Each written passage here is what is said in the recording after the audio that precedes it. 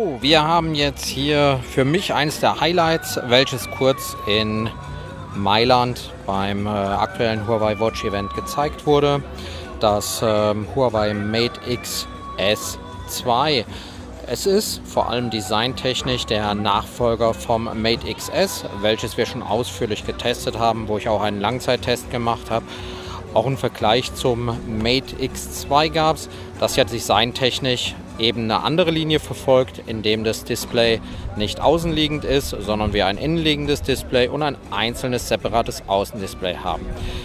Hier gehen wir zurück zu der alten Form und haben wieder ein Display was nach außen aufgeklappt werden kann. Dafür haben wir hier wieder den Mechanismus, den wir bedienen und dann das Gerät entsprechend aufklappen. Sorry, hier ist es sehr warm, sehr hell. Ich hoffe, man kann wenigstens ein bisschen was erkennen. Aber es geht ja hier auch nicht um die Bildqualität, sondern vor allem um das Gerät an und für sich. Es sieht dem Mate X S sehr ähnlich. Das heißt, das Design ist nahezu komplett übernommen. Man hat natürlich entsprechende Upgrades übernommen. Das erste ist schon mal hier vom Style her diese ja, Kunstlederrücken, äh, der wirklich das Gerät äh, ziemlich edel äh, wirken lässt und auch verdammt gut aussieht. Etwas, was es bei den Modellen in China, ich denke da an das Mate 30 häufiger gab, aber nie den Weg nach Europa gefunden hat. Das wird hier jetzt hoffentlich anders. Beim Kamerasetup natürlich äh, jeweils die aktuellste Technik, aber das eigentliche Highlight ist dieses neue Scharnier. Bei dem alten war es schon so, dass hier die in der Mitte entstehende Falz relativ gering war, aber deutlich spürbar war.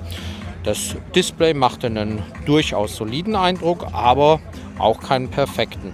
Hier hat man deutlich nachgebessert. Man merkt direkt, wenn man das Gerät jetzt aufklappt oder einfach auch so klappt, dass das Ganze nochmal wesentlich robuster und stabiler wirkt. Und für mich das echte Highlight, man fühlt diese Falls auch kaum noch. Man kann sie natürlich sehen, wenn man es bewusst machen will. Das klappt vor allem bei ausgeschaltetem Display am besten. Ist das Display aktiviert, dann sieht man sie auch kaum, wie es schon beim Vorgänger war. Aber hier wirklich, diese Falls ist wesentlich weniger spürbar. Also ein absolutes technisches Update, was man hier mit dem Gerät erreicht hat. Das Schöne ist, es wird zu uns kommen im Juni und wir erwarten, dass wir dann im Juni auch ein äh, Testgerät bekommen, wo wir euch auch das Mate XS2 dann ausführlich vorstellen können. Für die Geeks, die es kaum noch erwarten können und äh, mit dem Gedanken spielen, sich ein neues Foldable zuzulegen. Der Preis sinkt gegenüber dem Vorgänger leicht, ist aber mit 1998 Euro immer noch nichts, was man so einfach aus der Portokasse zahlt. Wenn ihr Fragen habt, dann her damit. Und ansonsten in rund vier bis sechs Wochen sollten wir euch mehr zu dem Mate XS verraten können. Bis dann, ciao aus Mailand, euer Marco für euer White Blog.